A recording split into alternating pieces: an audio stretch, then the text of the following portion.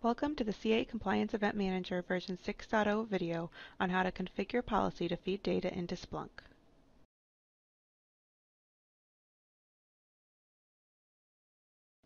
Using CA Compliance Event Manager, you can monitor security events and send the security event data directly to Splunk, where you can search and monitor the data in a user-friendly interface. Doing so gives you a holistic view of all the security events across your enterprise so that you can spot trends and abnormalities in data access, perform real-time security information analysis, take defensive measures more quickly, and report on compliance. For example, say Splunk is being used by your Security Operations Center, which is staffed by a small team focused on proactive threat detection and prevention. Your team is concerned that malicious users might try and hack into the network, so you want to monitor login attempts from outside your network to expose potential security threats. To do so, set up policy in CA Compliance Event Manager to automatically monitor sign-on events and send those events to Splunk. You can then use the CA CEM Splunk app to review the login attempts by location. Any login attempts that are outside your company-approved access points pose a potential security threat and require further investigation. In this demonstration, we'll set up policy in CA Compliance Event Manager to feed data into Splunk. Policy setup includes copying an out-of-the-box sample action to use as the basis for creating our own custom action, creating an event-based policy statement, and adding that policy statement to a policy set.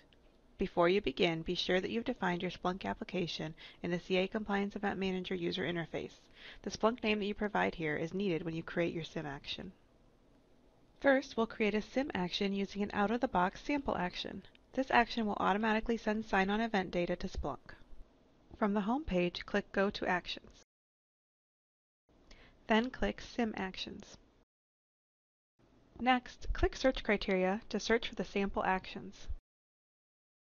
In the description box, type CA SIM and click Apply. The sample actions appear. Locate the sign-on violation sample and click the copy icon to create your own copy of this sample action. Replace the description text with your own description. For this demo, we'll use a description of sign-on violation events.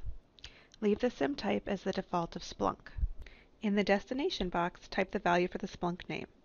This value must match the name that you defined when you configured your Splunk application in the SIM settings page. In our example, we'll use Splunk 1. The text to send to SIM box is pre-populated with the applicable substitution variables for the selected event type. Leave the box as is and click Next. Review your action for accuracy and click Create. Your new action is successfully created. Now we'll create an event-based policy statement to monitor sign-on violation events and attach our action to the statement. From the navigation menu, select Policy Statement, Create Event-Based. Click Single Page View to see all the settings in one page. Type a description for this policy statement.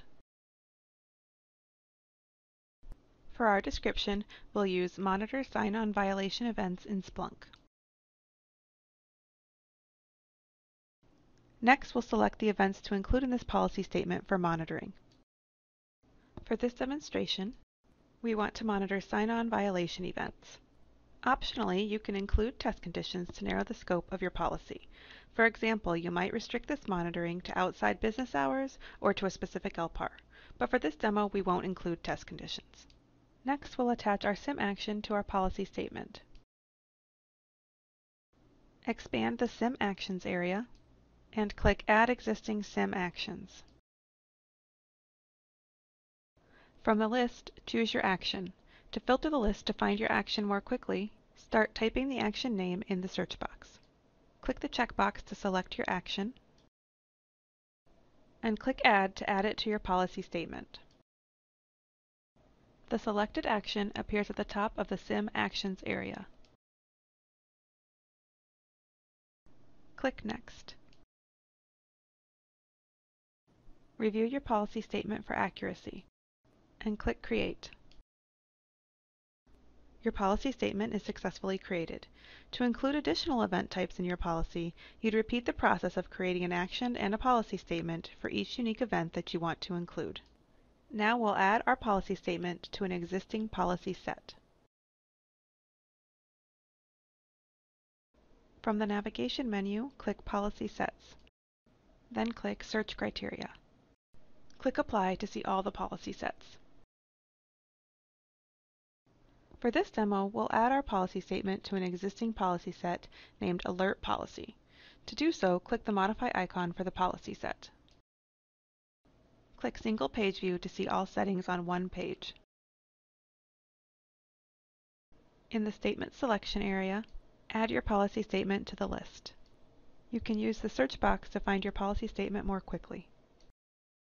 Click the checkbox to select your policy statement to include it in the policy set.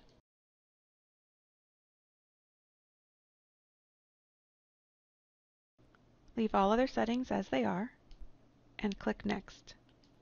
Review your policy set to ensure that your new policy statement is now included, and click Modify.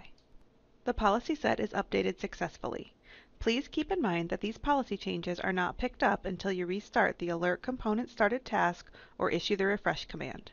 Your policy is now configured to start feeding sign-on violation events to Splunk. For more information about configuring policy to feed data into Splunk, click the information bubble in the top right corner to load the product page. From there, you can go to the product documentation, visit the CA communities, or see the learning paths.